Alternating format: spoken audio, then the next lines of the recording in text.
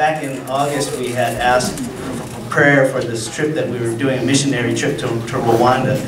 And um, you know, we're going to have Garrett, my son, uh, come up and give you a little rundown about where your prayers went, what your prayers did uh, in Rwanda. Garrett. All right, hello. So my name's Garrett, um, and as you can see, uh, Rwanda it's a pretty small country in the in the middle of Africa. And I don't know how many of you know, but um, about 10 years ago, there was a, uh, a pretty big genocide going on over there. And so they're still picking themselves back up from that. And, um, and here we are. And then once upon a time, you know, a group of uh, ordinary people, you know, they, they all decided, we, uh, we're going to go to Rwanda on a mission trip. And so if, if it's a normal group of people going into a country that just came out of from genocide, you know, that's not an everyday thing. So it took so for the for the group of people from our from our church to go to Rwanda, it took them it took them a lot of faith. So that's where your, all your prayers went to, is building up the courage for all of the families that were going to that they could get to Rwanda. So that is that's um, that's my dad, Mark, and then that kid on the left. I don't know who that is, but you know, whatever. Um, that that building that you see there, that's the airport, which that's the I, that's one of the biggest airports there, and right where the sign cuts off, that's that's it. So it's a pretty small airport, but it's still big for them. So, yeah. And that is, um, that's one of the families from, uh, that's the Mooch Bodies. And the, the, their church, Christ Gospel Fellowship, that's the, that's, that was the main church that uh, we worked with. Uh, you know, they do a lot of outreaches and, um, and that's basically what we helped them with. And then that was our mode of transportation. It's, it was about a like a 30 seating bus and that's how we got around to everywhere and that's mostly all our team right there and um, yeah we took the bus everywhere so um, those that you see there those are uh, actually the houses that the people live in so very small most of the houses are one room uh, you'll occasionally get a house that has two rooms but still, they, they're uh, the houses. If you can see, they're made of um, they're made of mud, and pretty. That's almost about it, just mud. And so uh, that was us in Busanza. We were going door to door evangelism, and we were doing that to help get a new Christ Gospel Fellowship Church up in Busanza. So that church right now actually is already open, and we're actually praying for that, that um, that church would make it off the ground and um, stay open. That is my younger brother. Um, that was when we were doing the door-to-door evangelism, and the kids, as you can see, they're holding his hand because um, the kid, some, most of the kids there, they had parents who died in the genocide or died of um, of AIDS, which is a pretty big deal there. So, so some of them never really get, um, you know, they never really get loved. So they, if you would just like, when you were there, if you just hold their hand, that would make the kids so happy because they never get love like that. That was in the new Christ Gospel Fellowship Church in Busanza. And as you can see, it's really packed in there. And that church was about half the size of this uh, room. So the churches there are pretty small and they can fit about twice as many people in that than we can. Um, that was us. Uh, we were doing like a vacation Bible school type of deal. And so that's all the kids there. And then you see my dad with the guitar. And um, those are all the those are all the kids who were on the trip. That's all of them lined up, and we were doing a story, so that's also what we did. And um, that right there, that's actually that that's like uh, that's the kids. That's their like toys, kind of. Like they just home they home make it just out of a stick and some string, and that's that's all that they have. I honestly have no idea what we're doing there, but apparently I'm playing with fire, and everyone else is watching me. Um, that was another day. We went to a different church uh, in Ruhaha, pretty cool name, and um, it, at that church, that the I think it was the crime rate in that church was much higher than anywhere else that we've been. So that was pretty exciting. That's like that's like their version of LA. Um, that was also in the Ruhaha church, and um, and we were doing uh, three-legged races with them, and you know they they've never seen that kind of stuff, so it was really interesting to see them do three-legged races, because you know, like I said, they they never do that kind of stuff because most of them don't have parents. Um, that was a church in Kabuye, uh, where uh, that building behind all those people is that was about like a six foot by six foot room that they crammed about 200 people into. I didn't think it was physically possible. Um, and that where where they are, that's like the front yard basically, and that's where everyone meets every Sunday morning. And we got the opportunity to um, to go to that church and give a little message. So that so that church right there, it was um it was really neat because about 75% of it was just them singing and dancing and just praising the Lord because that because uh, that's what they do. And um, in Rwanda, in Rwanda, the people there, they're uh, they have so much more joy than some of the people that I see here because they have so much less and then they can give so much more. So that's that's just really neat about the people there. Uh, this was someone we met in Rwanda. His name was uh, Aaron, and he was a street evangelist. Uh, that's my, my that's my dad's guitar that he has. Um, but his his other guitar, it was a uh, it was a homemade guitar. It was made out of just wood, glue, and some strings. And that's what he does. He goes around and uh, plays that guitar, and just he's a street evangelist.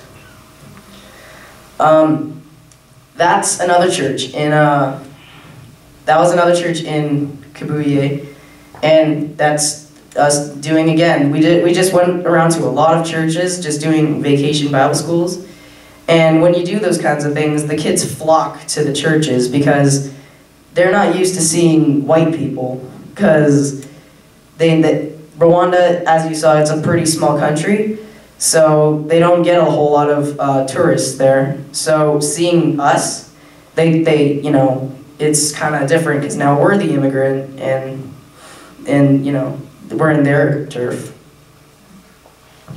Uh, that's just us at the church again, and um, we're actually the bottom left picture. That was us getting ready for another um, uh, uh, vacation Bible school. And what we're in right there, that was basically our living room. And it was that small. And there was only two other rooms as bedrooms. So the spaces are pretty confined mostly. And this, uh, uh, that was in a, that was in a school, but was also a church. And that was an English class. And um, they told us we got the opportunity to teach them English. So that that that was pretty fun. So we got to be teachers for a day and um, also get a little message in there as well. And then as we left, um, my brother he made some friends and you know. And then it's always sad to get back on the plane and leave because then you know you're going back home. You're going back home and uh, you know and it was such a uh, unique place that no one really wanted to go home, but you know, in the end, you always have to.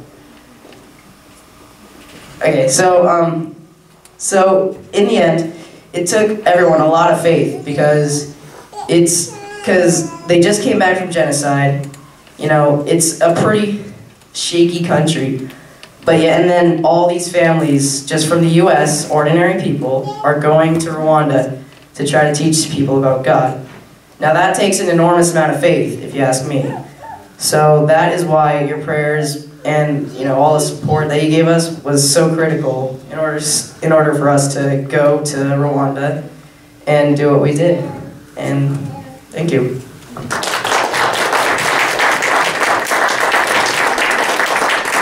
Thank you, Garrett. And why don't we, um, why don't we have a couple, few more worship songs and uh, be blessed by the, uh, our hula dancers and the, and the band.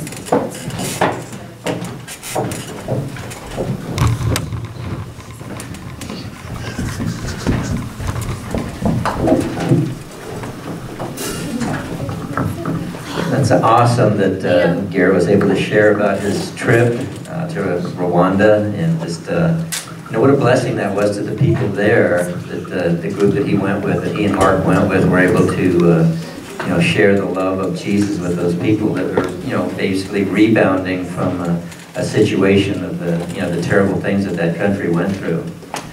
And uh, it's just awesome to see how God can work in, in uh, our lives when we make ourselves available for you know a trip like that, and and uh, for anything that uh, He might be leading us to do, you know, for His glory. Uh, we're going to go ahead and continue worshiping now, and uh, if you want to stand, please stand. This is kind of a an upbeat song, so please join us if, if you know this one.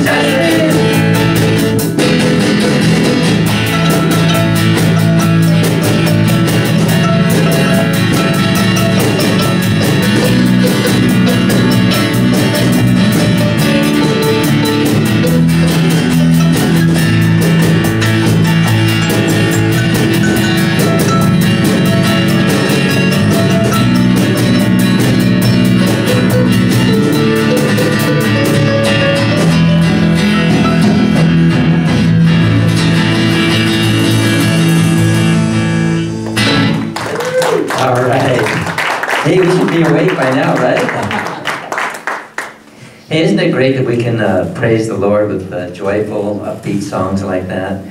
And uh, we get, uh, you know, the Bible in, in Psalm 150, it talks about praising God with all the different instruments and with our voices.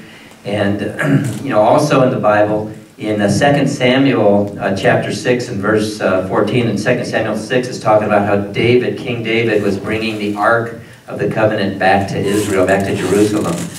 And they had a big celebration going on. They would, they would take a few steps and they would sacrifice. And then David says, David, in verse 14, it says, David uh, was dancing um, with all his might before the Lord. So he was worshiping God um, in the time of celebration. They were singing and dancing to the Lord. And we're going to invite our uh, Kakohana Ho'onani hula dancers to come and join us as we continue to worship now. And uh, we're going to um, worship with our instruments, with our voices, and also with dance now with a song called Just a Closer Walk with Thee.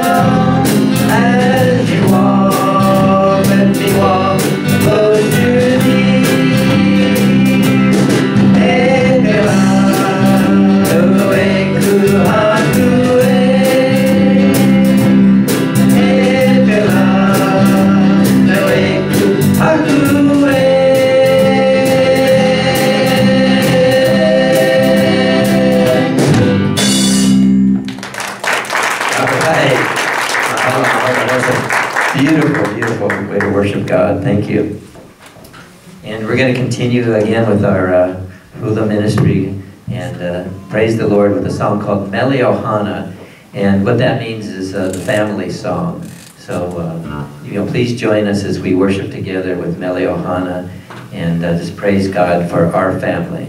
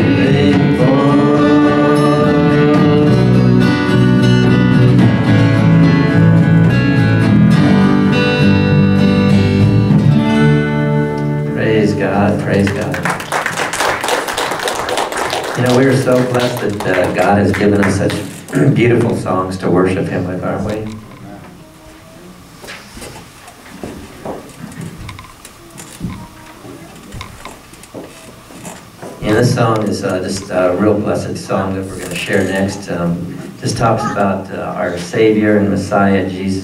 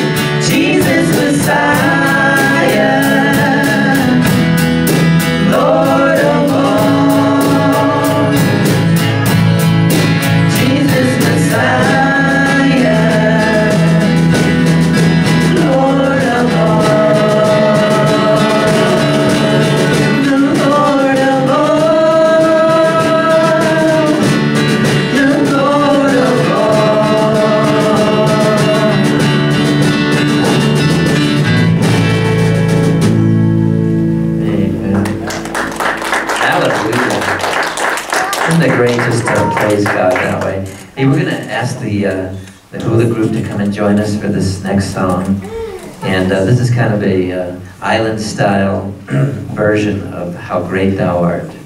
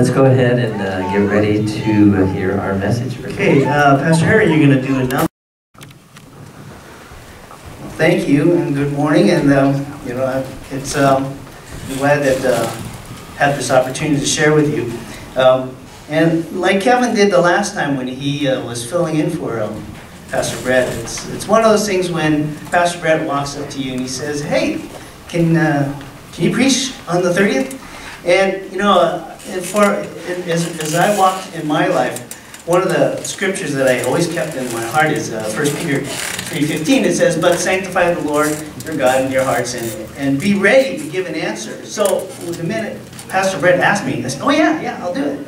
Then, in the last part of the verse, it says um, that in meekness and fear. Well, that's that's what hit me after I said yes. So, anyways, um, so I, I, I, went ahead and, and with, like I said, it was, was meekness and fear, trying to think, okay, I'm going to speak, and, oh, I can't, there's no way I can follow Pastor Brett the way, you know, he he teaches. I just love the way he teaches and, um, you know, that's, okay, big, big step for me.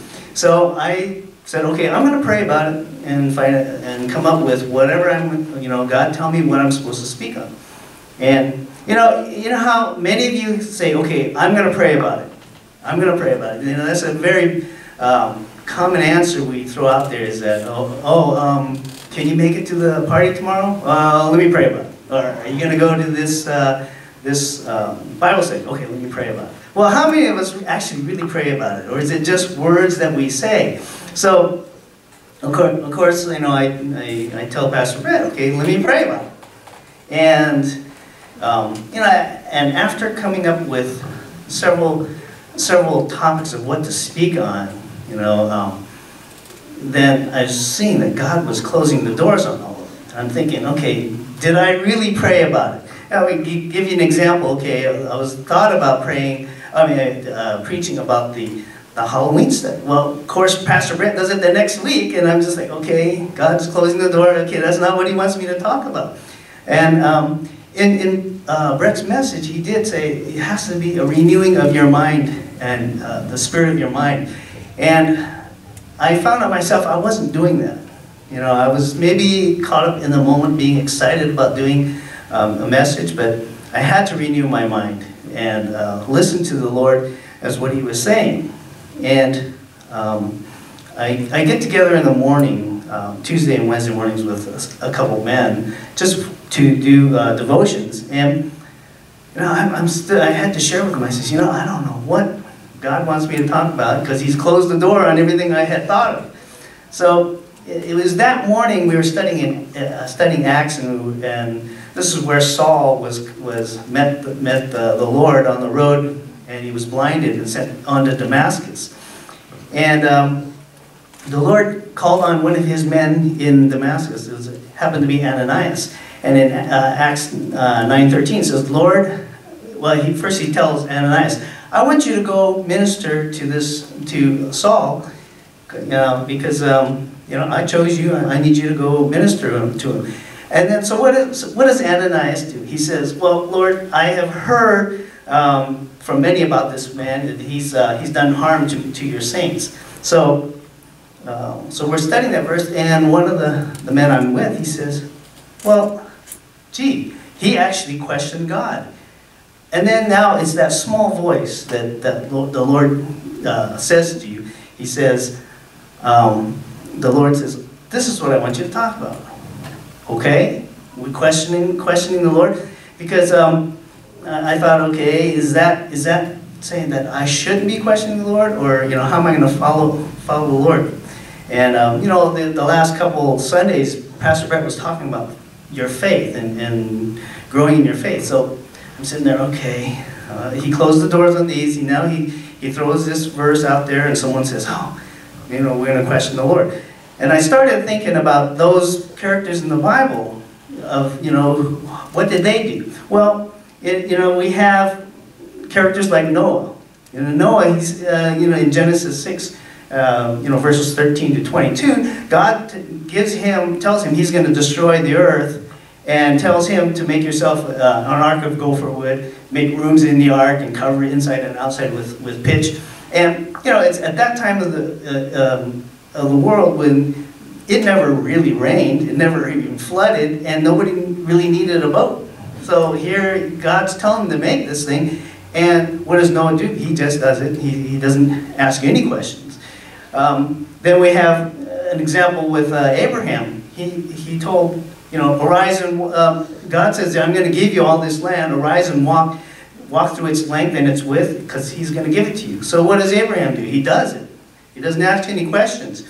Um, and then Sarah, well, there's a, um, Sarah was, uh, God told her, you're going to, um, have a child at 90 years old, and um, you know she laughed, but you know she didn't really question it. Um, and then we have the uh, faith of Gideon, where where he he was supposed. to, God told him tear down the altar of Baal that his uh, that his father had.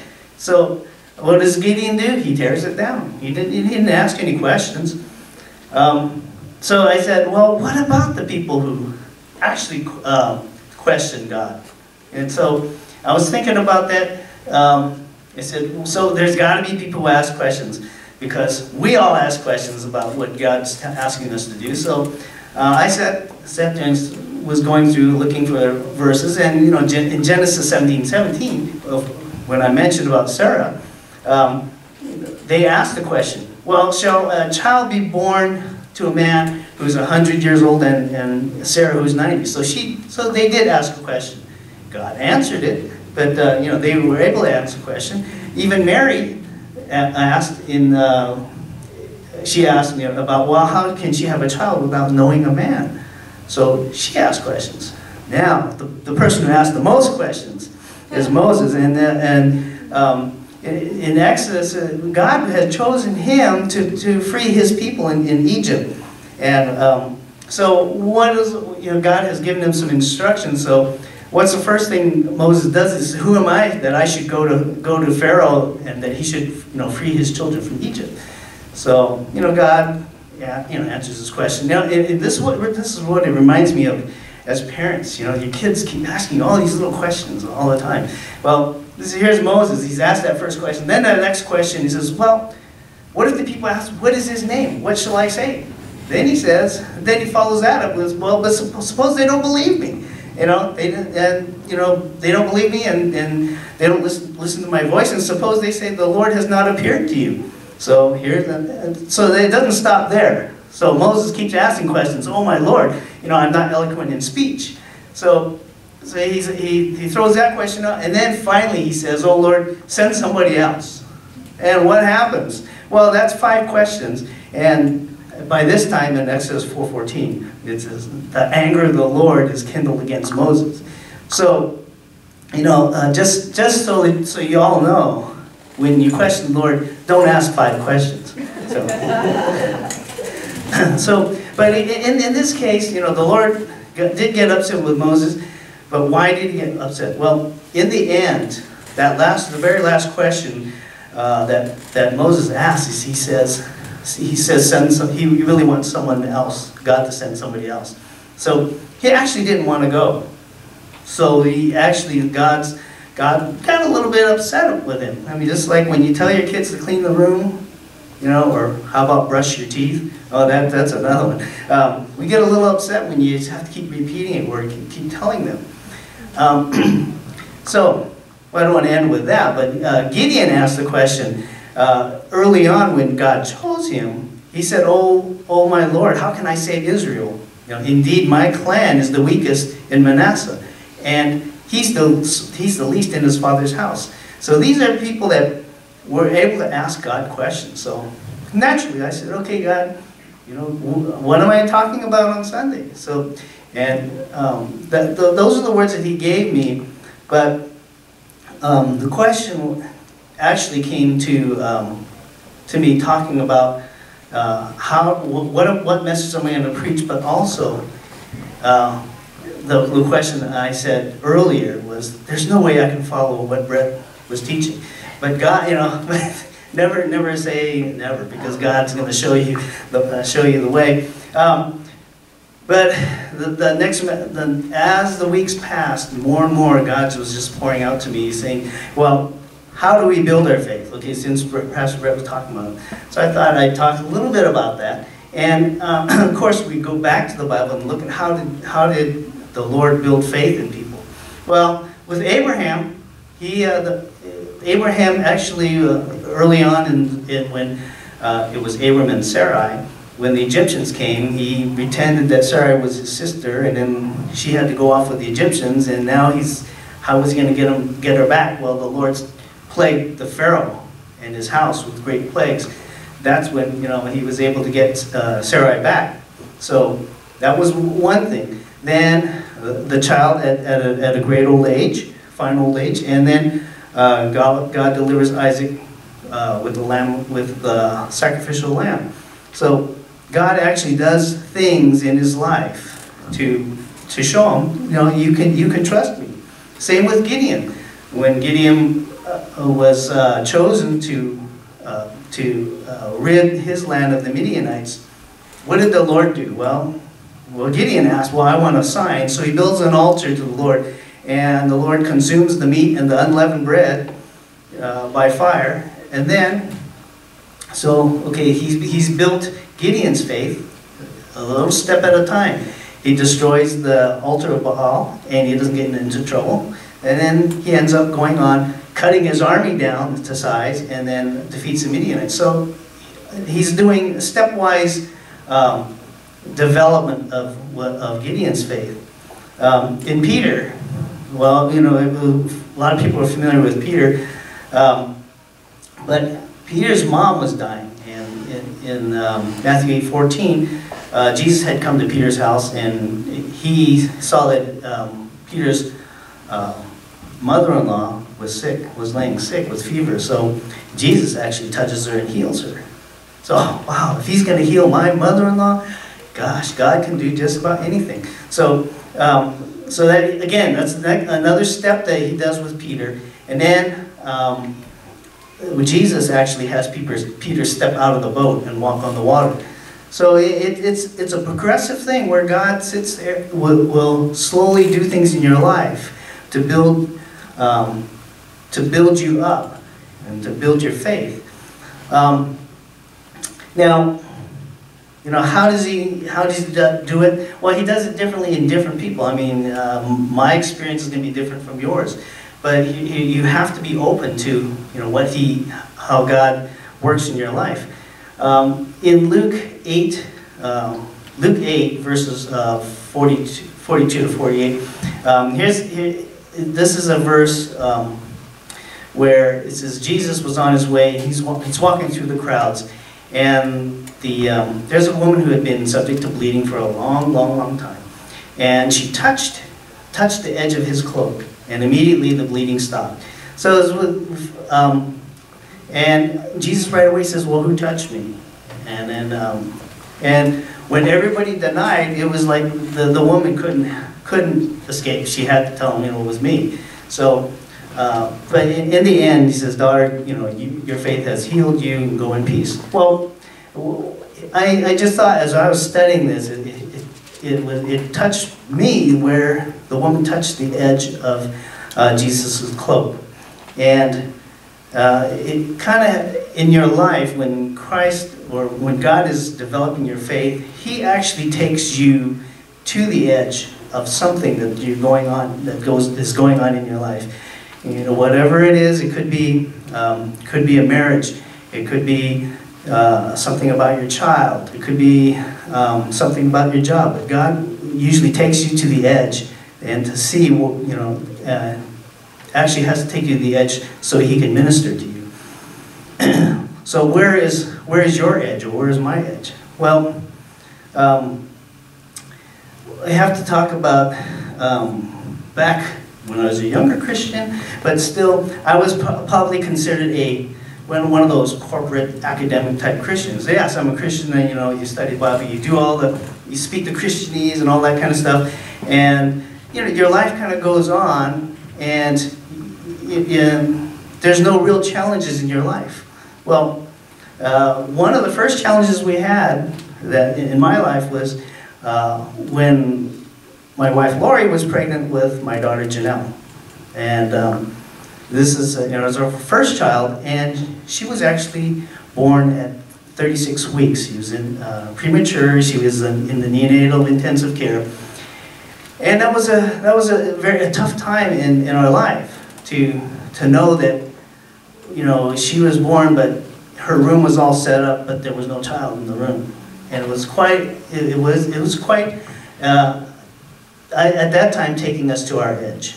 You know, it, it was um, going, going, thinking about what faith means is, is um, a substance, substance of things hoped for, the evidence of things not seen, uh, for by it the elders, elders obtained good testimony. Well, we didn't know the outcome. We, we just had to have, it was that step, God taking us to the edge, and us depending on Him because there was not nothing else. There's not really nothing you do other than listening to what the doctors are going to say. But uh, down inside, it, it, was was the your, the next uh, step in faith that uh, that took us through. And here it says, by good testimony, um, whatever, whatever um, event that you've struggled through, it is going to be a good testimony for somebody. So uh, just keep that in mind. Um, but one of the verses that, that I continued to run through my mind was in Proverbs 3.5, it says, trust in the Lord with all your heart and lean not unto your own understanding. Well, I was in the medical field, I knew a lot of stuff, and I, you can't, you can't, you can't lean on your own understanding because it's, it's quite stressful if you do that. Um, so you had to lean on the Lord. Um, and so we got through that. We, um, uh, the Lord, you know, Janelle grew up fine, and she's, uh, she grew up and is now 17 years old, And really exciting. She's getting ready for college, and like Pastor Brett had shared about Cody, it's it's uh, it's another step.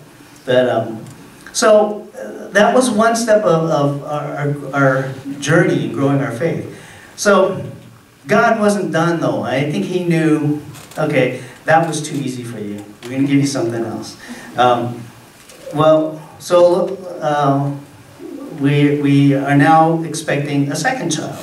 Okay, Lori is, is, was considered a high-risk pregnancy. So now she's pregnant with another, uh, another child.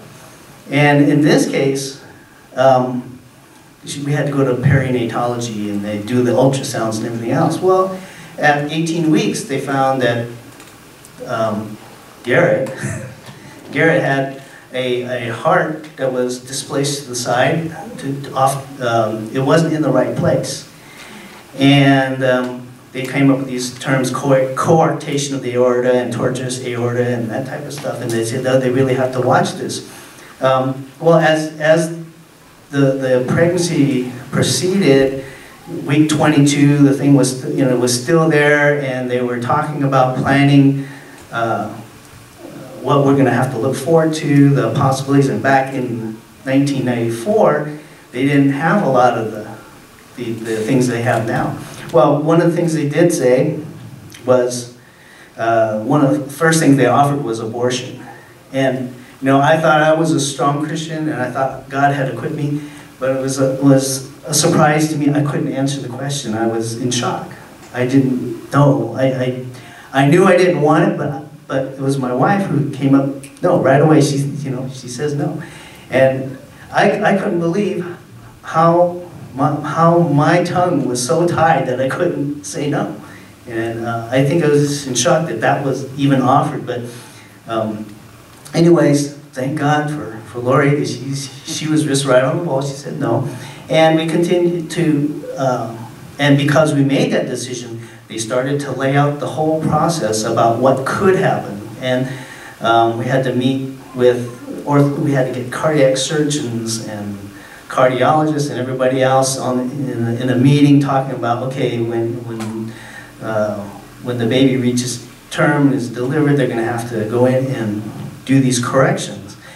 And um, they, they, did share with us that the survival rate was very low.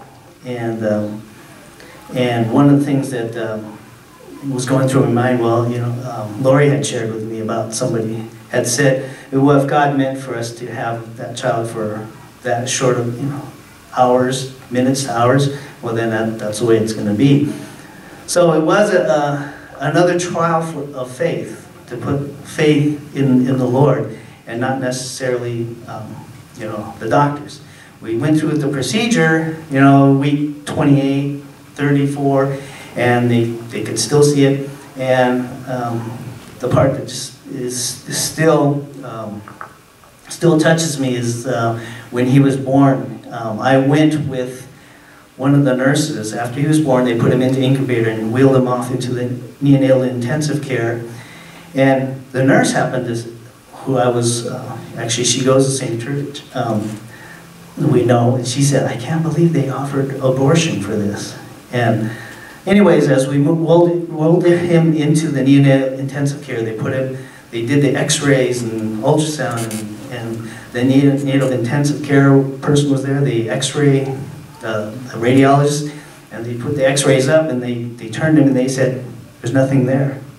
And it was, it's, it was one of those things that just shake you, um, you know, to the foundation. And for me, it was that ne- next step in uh, the growth of uh, faith that, uh, in the Lord. And they actually, the, the two physicians actually said, actually said, well, it wasn't them, you know.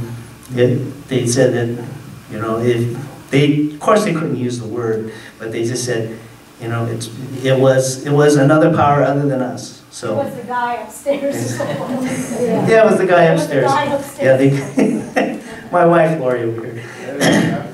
Um, So, but you know, it was it was one of those times when you felt alone. I I, I looked at these.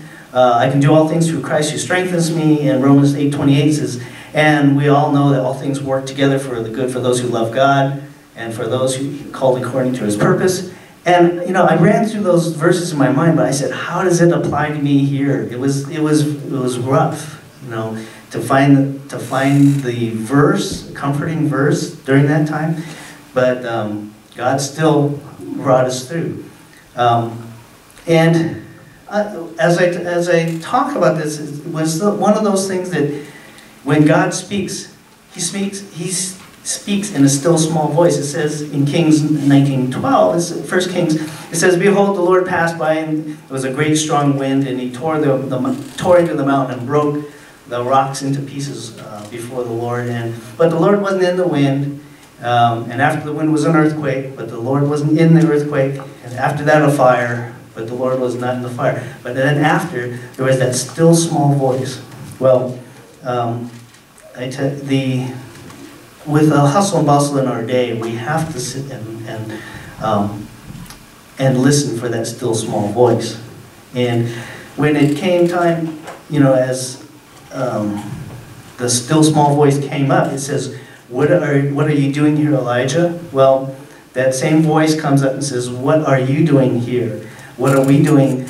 And um, as, as being a father, um, parent, raising the kids, um, that, that small voice continued to, to whisper in, in your ear, uh, raising, these, raising the children up, but, um, and raising them up in the, uh, in the um, as godly children, and when it came time for missions trips, uh, this is where we're going with this, since Garrett spoke about the missions trips, um, that was another step of faith, is like, okay, well, God, you, you brought the kids here, you, you brought um, Janelle through her, her pre, uh, being a preemie, and then she, and now bringing Garrett through that storm, and uh, bringing us all the way to the point where, how can we not say, you know, when God, when God asks us to go, how can we not say we can't go? So um, it had been a, a, a process of building faith in the Lord and, um, and putting it into action, and taking that step and going on, on into the mission field. Um, it- that, that picture there is uh, the Rwanda trip from 2008. Garrett was preaching a a message in, in Rwanda, and um, it was it was quite a touching for me to know that we, we went what we went through to get him to that state, stage on a mission in the mission field to, to preach that message uh, to the kids. And you know that's Garrett down here in the again in 2011 he's wearing the same shirt, so we're being good stewards. So, anyways, uh, so I just wanted to close that you uh, our, our steps in faith are little, some are, are quite large, um, but we want, we just, we want to make, keep those ears open, listening to what the Lord has to say to you. And, um, and each, each step prepares you for, for His plan for your life. So, um, anyway, so worship team, if you want to come up.